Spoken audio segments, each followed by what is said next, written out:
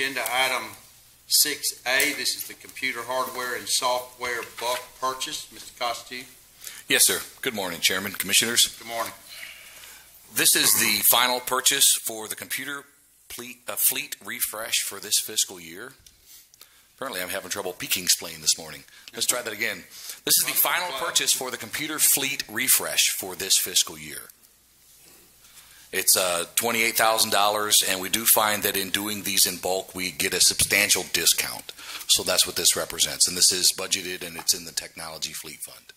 This is part of the new initiative we started a couple years ago with the new budget. Okay, Any questions for Mr. Costi?